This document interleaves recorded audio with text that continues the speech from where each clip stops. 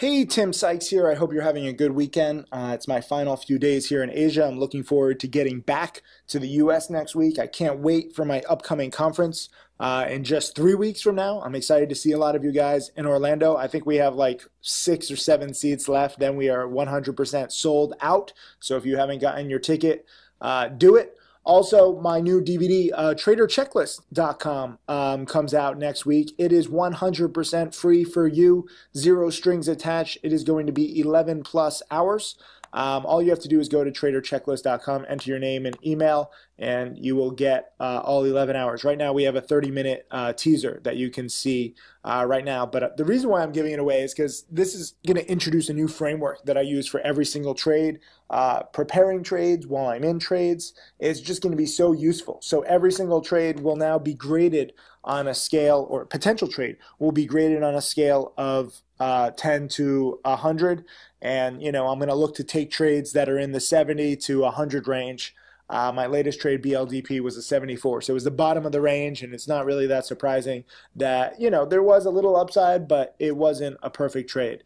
Um, also, I, I, have to talk a lot about this. A lot of you guys are expecting so much from the markets. You guys have been spoiled uh, by this year and, and, really last year and really the past seven or eight years now. Uh, we have been in a very strong bull market. And so when there's a few days when there's no plays, everyone's freaking out. Everyone's like, oh my God, is this the end?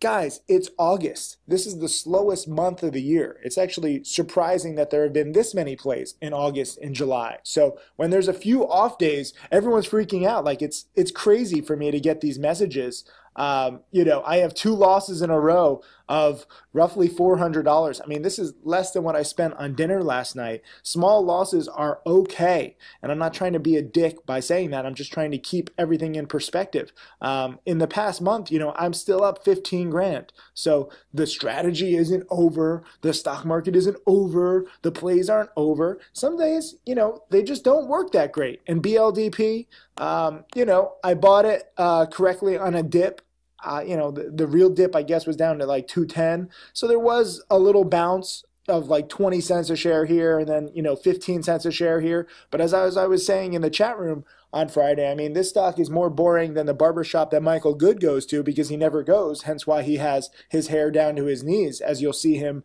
uh, in Orlando. So I don't really do well on boring stocks. I mean, from my buy point, I bought it at 220 on the dip here. Uh, you know, I guess there was 10 cents of upside and roughly 10 cents of downside. So I lost like two cents a share. I don't care uh, if I make two cents a share, if I lose two cents a share, if I make five cents a share or lose five cents a share on a $2 or $3 or $5 stock. It's a scratch. Um, and so some of you guys who are freaking out over small losses, get over it. You know, you need to study and realize what my strategy actually is. Uh, VG, you know, I was buying here uh, on the breakout at 630 because this is a multi-month breakout right here. But frankly, it just hasn't done much in two days. Yes, it's a multi-month breakout. Yes, it's barely holding on. Um, but this is not a strong breakout. So when I lose, I don't know, what did I lose? Like nine cents a share on a $6 stock. Uh, I mean, I, I, guess I could have made money if I timed it perfectly. I bought it at 630. It got up to what? 650. So there was 20 cents of upside and it also went down to like 6. So there was 30 cents of downside and 20 cents of upside. You know, that's not good. Okay? So my entry wasn't that great. This stock isn't that great.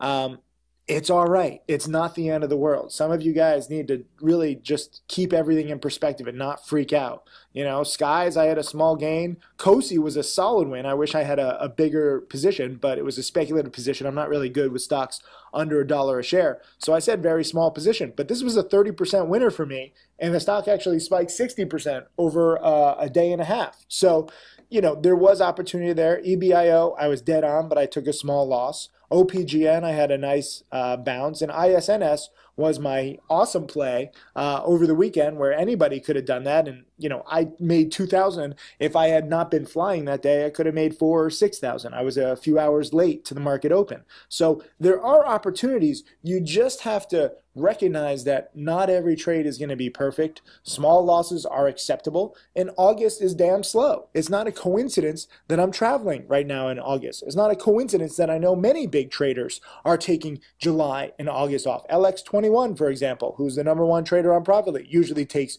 July and August off.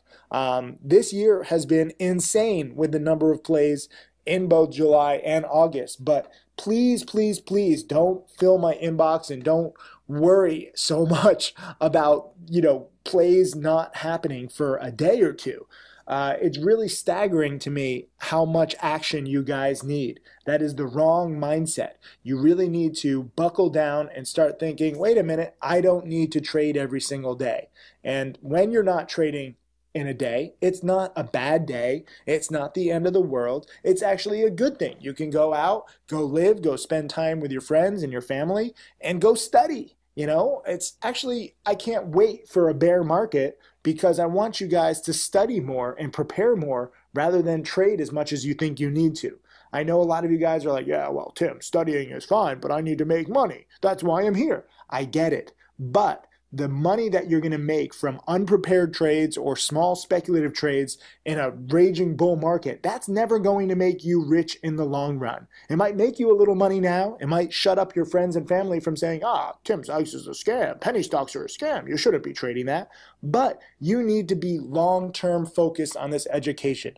I can't just get it through your heads enough that this is going to last for years and decades. And I don't want people who think that they're just going to make money for like a month or two and then just stop trading, okay? You're going to have to study, you're going to have to prepare. It's very front end loaded with the hard work that you have to do, but the money gets paid out over time when you prepare and when you accept that you don't need to trade every day and you wait for great trades like ISNS. You know, none of these other trades, I mean, COSI was a decent uh, earnings dip buy and it's still hanging up there. EBIO broke out a lot more, so I just mistimed that. Uh, OPGN was a decent morning spike, but this was, you know, the best play of the past few weeks. Um, you know, as evidenced by my making 25% and missing the top by uh, like $2 a share. So, this coulda, woulda, shoulda been a 50 to 75% winner. But even with my travel schedule, I was still unable to take profits um, over the course over holding over the weekend. So wait for plays like this. Um, you know, low float earnings winners, low float contract winners. You know, it's not a coincidence too that you know the the two trades that that haven't done so great for me lately, VG and BLDP, I mean, they have huge floats. Uh, you know, they're big companies, so they just don't move that much, especially in August. You know, they had good good news. BLDP won a deal with Toyota. Uh, VG, I actually thought it was an earnings winner, so I bought it for the wrong reasons. Um, but this was up because an analyst uh, compared one of their subsidiaries uh, to TWLO, which has been one of the hottest IPOs. So I actually bought this one for the wrong reasons, um, but it's still a good catalyst. Uh, it's just tough for bigger companies to move that much. So focus on smaller companies. I'm sorry that I haven't been in places where the Wi-Fi has been that great. You know, I, I want to make live videos of the fast-moving stocks like GBR uh, and VISN on Friday. But frankly, my Wi Fi just hasn't been that good. So I, I can't wait to get back to the US so I can start showing you some live videos on these fast moving stocks um, following my plan of you know making live videos of my trading rather than alerting um, a lot of these stocks that just move too fast. Um, VISN would have been one of them, and I don't know why some of you guys are shorting VISN. Uh, you know, I, it, makes no sense to me. You're, you're complaining why is the stock spiking? Well, you're shorting a low float former supernova on a Friday afternoon that has speculative news over the sale of one of its subsidiaries. So if you're shorting this, you are not just breaking one rule, you're breaking all all my rules. And it's no wonder that some of you guys got short squeezed. You can't just short anything that spikes. I don't know what's wrong with some of you. You, you know, you just want action. You say, oh, long term downtrending. Okay, it's going to drop. Well, you forgot to look back at some previous years when it went freaking supernova here, okay? So you have to remember to look back at previous months and previous years and don't be so aggressive shorting a first green day on a low float of a former supernova on a Friday, no less. It it, astounds me. You know, I set these rules to try and help you guys, but a lot of you don't study. You don't even know the rules. And some of you who do know the rules, you just break them and you think that you're going to be okay as I say, you know, if you drive my Ferrari 200 miles an hour into a 35 mile an hour school zone, you're probably going to crash. You're probably going to kill some kids. It's probably going to be very bad because you're breaking the speed limit. Stock trading and the stock market is no different. I'm trying to give you speed limits. I'm trying to give you road signs. But if you ignore them, then it's on you. It's not on the road signs that tried to warn you. So I like shorting pump and dumps. I like shorting first red days. This is neither so I don't know why you guys are so aggressive. And it might very well come down and you might profit. You know, it got halted. But it is not a trade that I would take. And I was really saddened to wake up to seeing a lot of people uh, who were shorting this and, and getting squeezed. You know, I I'm sorry that I'm not there 24 hours a day to remind you of the rules. Um, in Asia, you know, we're 12 hours ahead, so I've been staying up to like midnight 1 p.m but i'm not staying up till you know 3 a.m 4 a.m to remind you on a friday afternoon not to short. Uh, this should be ingrained in your head if you watch my tim raw dvd if you watch my how to make millions dvd if you read my watch list from the past few weeks where i'm saying shorting is very very tough right now. And you know my bias has been mostly long. Uh, you know, I, I guess I guess I'm kind of known for shorting, but every time I try and short in this market, you know, I, I, get squeezed or it's just too scary and stressful. So I've been very long biased. Um, and on a play like this, I don't know if I would chase it because it is such speculative news. Like, what did its subsidiary get valued at? Did it really get sold? It's, you know, a sketchy Chinese company. There's no official PR. Now it gets halted on a Friday afternoon. I don't know what's going on. And when I don't know what's going on, I get out. This is probably the most important rule, especially in August, that I can teach you. When you are in doubt, simply get out. Okay? I enunciate it to try and get you guys to realize that it's okay to take small losses. You know, VG, I wasn't sure what it was going to do the other day, um, right in here. You know, it, it tried to break out here in the 630s. Then it started fading. Uh, I bought it for the wrong reasons because I misread the news. And I just played it safe and I lost nine cents a share. And right now I'd be break even. If I make nine cents a share, if I lose nine cents a share, if I break even, it's all a scratch. When I'm in doubt, I simply get out. Same thing with BLDP. I dip bought it. Actually, I dip bought it blindly and, and went to bed just thinking that it was going to hold its multi-month breakout. This was kind of a risk, but you know, they won a nice deal with Toyota. I wanted to give it time, so I went to bed. I was fine with it. Uh, I woke up, I was down like four cents a share. The next day, I wanted to see a morning spike. It didn't morning spike. You know, it was using 222 as resistance. I had some Wi Fi problems. I was trying to actually sell it here at 222 um, right before the market opened when it looked like there was a solid wall of sellers. I couldn't get executed in here until a little bit of the morning panic. And then it had a delayed morning spike of what? I could have made five, ten cents a share. I don't care. I was in doubt, so I simply got out. And that is what you guys need to do. Don't worry about, you know, what happens if you're right. Worry about what happens if you're wrong. And if the stock is not doing exactly what you expect, you simply get out. I know that's not an exciting way of trading. I know that it's a cowardly way of trading. I know you want to be aggressive. Trust me, I hear more messages from traders than probably anybody else in the world. I know what you guys want. I know what your, you know, degenerate gambling little brains want to do. But I'm telling you that there is another way and this will prevent disaster. I did not have to get out of BLDP or VG. I did not have to take small losses. But whether I make or lose 100 or $200 on my now $80,000 account, it just doesn't matter. Okay? You have to keep everything in perspective.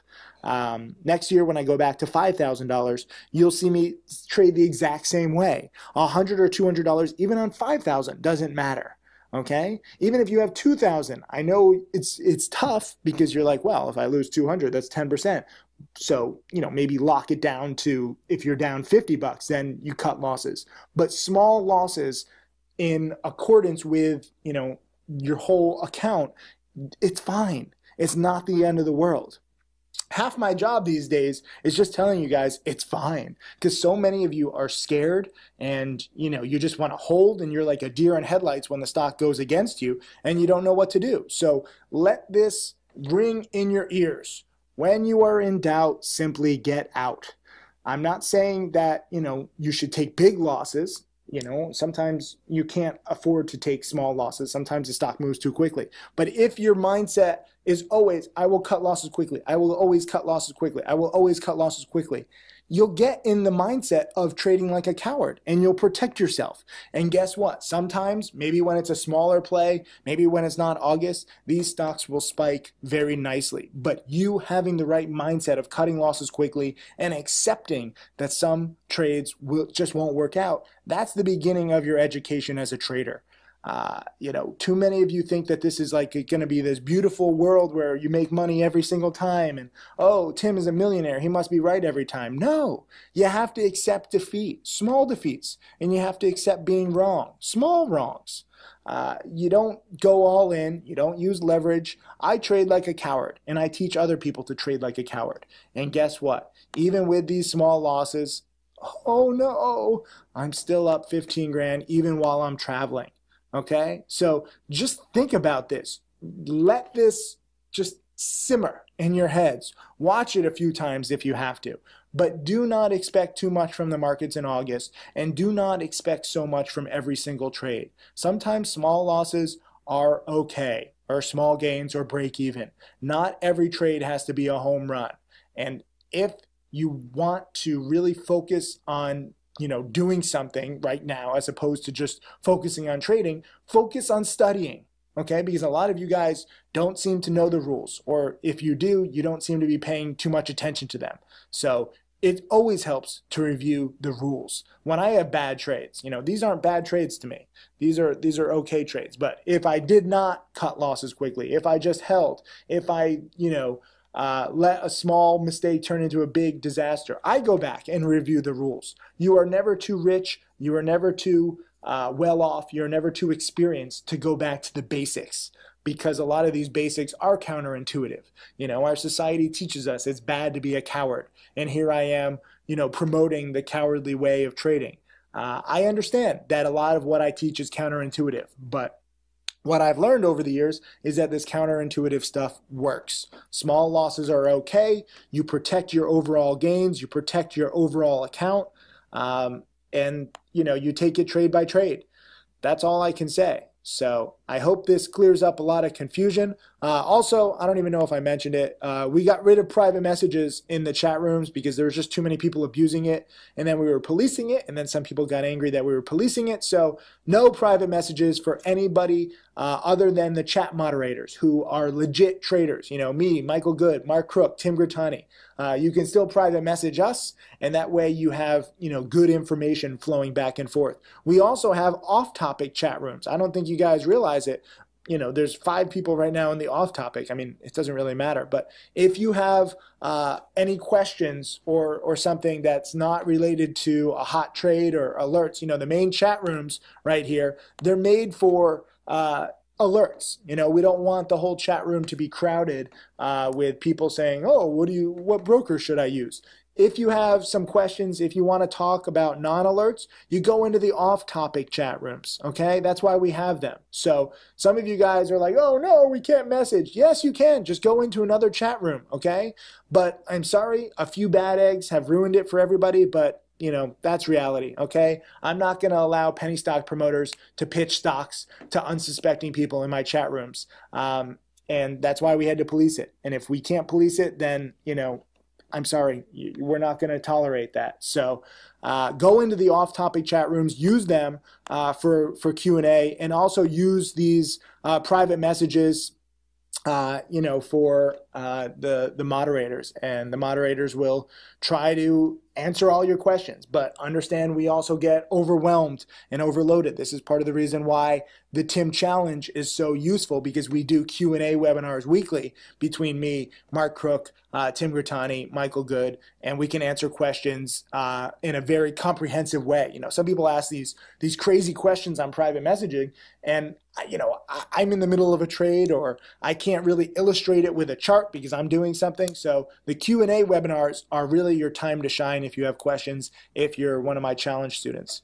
Um, you know, here is uh, someone who just PM me literally as I'm making this video, Tim, I'm studying the how to make millions for a second time and it's a lot of info. I still get confused with the charts. I think my problem is that I get in the middle of the range and that's why I keep losing. I hope in Orlando I can get a better understanding. The challenge is great. I enjoy the chat, the webinars, videos, everything. Thanks for awesome. Cool.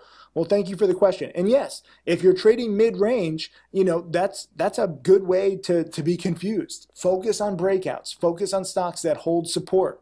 Um, or shorting stocks that break support. Trading mid-range and trading choppy stocks that just zigzag, it makes trading very confusing. And, you know, frankly, that's why 90% of traders lose. They're trading the wrong patterns. They're trading choppy stocks. Uh, you have to really think of yourself as a retired trader and only trade when there is a great setup.